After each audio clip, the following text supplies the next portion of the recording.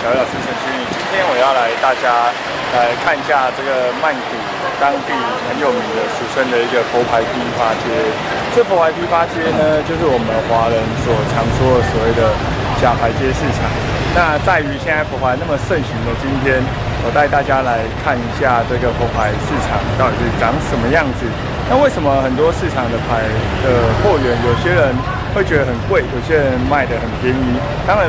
贵跟假，呃，并没有一定的成正比，但是也许今天来大家来看一看，大家会有更多的启发。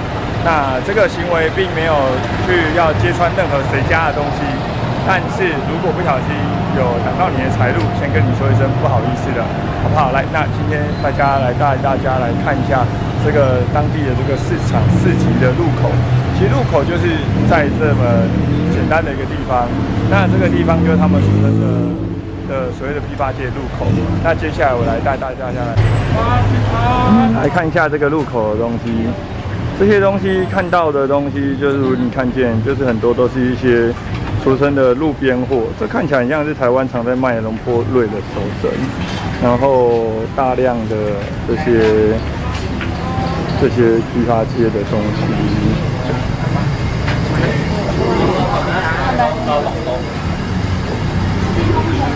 带大家来瞧一瞧这个批发街到底都在卖什么东西呢？这些应该就是他们常说的什么老牌系列，然后他们俗称的，他们有些人说当地说这个有出庙壳的就不会是是有问题的牌。那今天也带大家来看一下，好，可以放大一下给大家来看一下。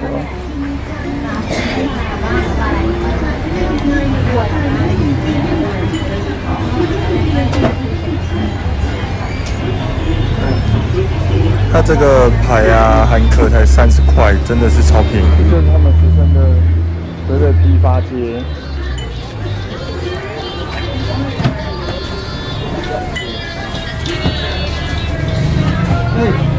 然后，因为当地的店家会不给我拍照，因为我是偷拍的，所以只能够有些东西就是只可以放在地面下。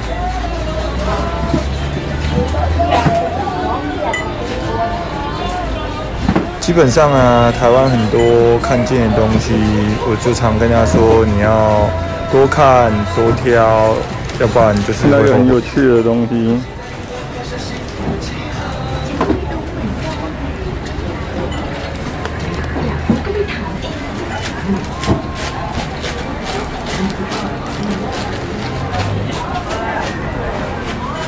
这些应该就是他们俗称的什么皇室版的东西，哦，真的很多，很漂亮。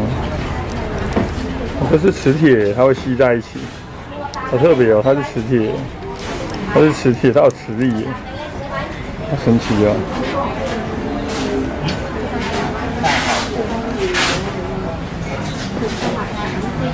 这些就是他们常出现的老牌系列。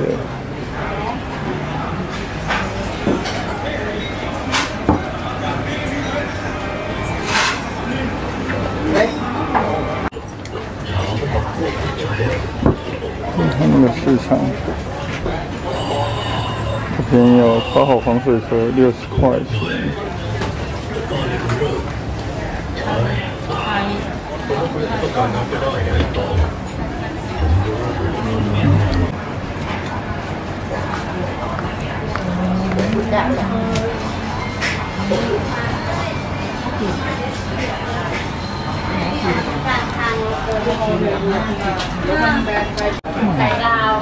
这东西 เปิดแค่ไหนก่เออไม่มีน้ำแกงนะข้างไมนะน้ำดีกว่าหัวรอบตัวรอบ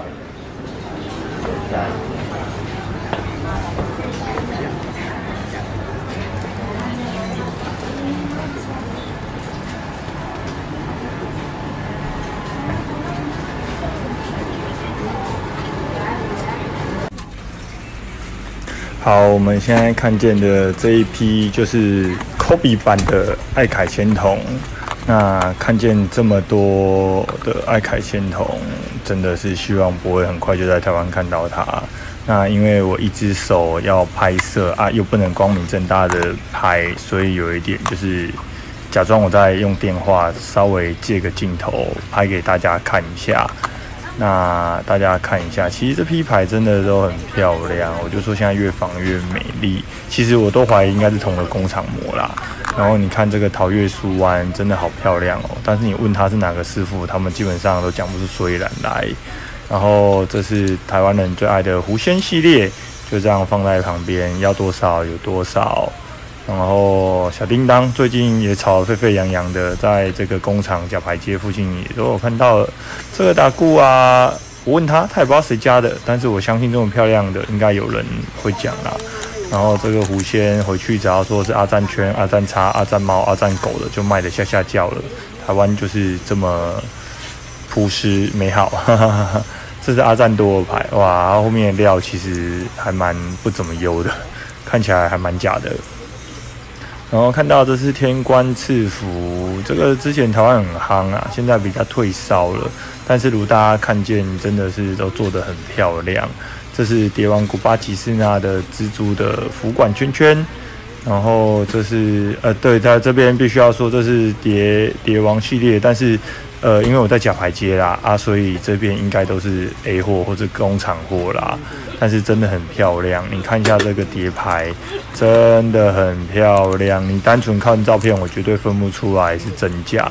但是因为它的香味不对，然后这个是他们印度教的这个牌，他们的香味是不对的。因为我们常去蝶王庙，它的香味是不对的，但是。真的是以假乱真，真的这个一样，它的香味一样是不对的，闻起来没有蝶王庙那么柔顺。然后你们看一下这些东西，真的好漂亮哦！真的，你单纯凭照片，我绝对没办法告诉你它是真或是假。所以很多人常常问我说：“老师，这东西对不对？”我都是可以跟你说，你自己要多做功课。这也是蝶王的手绳。嗯，真的很漂亮。然后这是市面上常看见的啦，我不知道到底是哪个师傅做的，但是因为就是它也是个模子，很常出现的啊。这个我知道有些人会说它是嘎弄的，嘎弄的口笔品还蛮多的。对啊，他们的牌其实真的很漂亮。还是一句话，要不是我在所谓的假牌街，我都觉得这些东西怎么这么漂亮啊！又是一堆龙波瑞，你看又是狐仙系列的。这我也不知道是哪个师傅的，但是就像我说的，回去就灌个阿猫阿狗，然后老虎，这应该是仿龙波本的，哎，后面还有一个皮跟老虎，然后你看，哇，这真的好漂亮，二个风，然后哇，又是一个龙波本，它真的是越仿越漂亮，而且这陶瓷面好漂亮哦。哇，这是俗称的加杜康的红太阳，这一颗不知道一百块、两百块一整包，所以我就说买这个的真的自己要多加小心，他自己要做好功课，要不然买了之后没有人救得了你。然后又走到了下一柜，就是浓浓的。不知名的，但是不知道为什么他们好像都特别喜欢很多的东西，到处都有。就是他们台阶的尾巴了。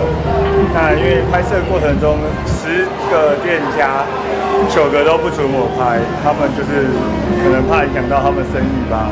那一样，待会回去做个简单剪辑跟大家分享，好不好？就是这样打牌接回来。他们当地人真的很不友善。这让我想起来，以前大概在七八年前刚跑庙的时候，其实他们没有那么不友善，因为那时候佛牌没那么盛行，没有什么人太多人在意假牌的问题，因为就佛牌批发街嘛，就是一些和尚买来回去送信徒的。但是因为随着这个市场越来越蓬勃发展，假牌利益越来越大，他们现在大概也知道说自己卖的是假牌。以前，呃，基本上一直到现在啊，我们去问他说你这佛牌是真的假的，他都会告诉你这不是真的。为什么？因为其实通常骗人都是外国人，但是现在他们知道很多人会买回去当真的卖。那因为市场越来越发达了，像我以前都怎么看真假牌？其实只要有师傅亲刻经文，大多数都是真的。为什么？因为他们不敢刻经文。但是直到有一天，我到了假牌街的时候，看见有里面的工作人员自己拿雕刻笔在刻经文。那时候我就再也不相信这件事情了。但是也随着人心吼，随着金钱就会发展。那我只可以跟大家讲说，如果要辨识真假，呃，就是你不会看牌，那你要学会看人，找你信任店家。像我们家自己本身是龙普林雅施工，魅乳是龙普古巴汤慕尼，然后古巴潘以及这个阿赞闪利、阿赞当这些师傅都是跟我们合作的师傅，所以我们家会有很棒的一个售后服务。所以你们的佛牌有任何问题，甚至于我们的店家也是政府立案的，我们有银灯，也有协会的证照。为什么这些都为了要保障，让每个消费者更加的安心？那如果你今天都是找一些跑单帮啊，当然不是说他们不好，是当他们如果有一天告诉你说他不做了，因为其实，在业界里面排档现在真的很多，我猜应该少说有一个三四百个吧，但是很多其实都做三个月、五个月，那。有一些客户来就跟我说，呃，老师，那我之前买的佛牌怎么处理？我就说找原店家，你要去找你的这个售后服务啊，不可能找老师帮别的店家做售后服务嘛。他就跟我说，对方已经消失了，或者说他已经不做佛牌了，因为他当初可能是批来卖，或是干嘛。那介于老师就会看到这个乱象，所以特别拍了这支影片，希望大家看清楚，你要去找你相信的，你实体店家的。那最好是在业界做，可能有个五六年以上的，因为我自己就遇到很多的客户案例，他就是这样子，因为原本的牌场不见了，不见了，或者是说他本身是个一个做不久，然后或者是说他有佛牌有什么问题，像我们每一段时间就会请师傅来台湾，呃，去帮客户做消灾解厄以及售后服务的动作，但是有一些店家是没有的，像我们自己本身，像呃，不管是龙博古巴汤慕尼。或是美如喜、帕金尼，或者是龙普林亚施工这些，我们是全台湾唯一可以在台湾做售后服务的店家。那当然，你们可以去慎选你们相信的店家，好不好？因为现在真假牌真的太难辨识了，就如你们看见的一样，这些东西真的放在那边，除非你是一个像我们这样接触可能很久的人，不然相信我，你一定没有办法发现。那希望大家。呃，能够多了解一下你平常在拜的佛的东西到底是什么东西。那希望大家能够都能够买到你喜欢的佛牌。然后，如果万不幸你买了佛牌可能很雷同或干嘛，那你可以请原店家告诉你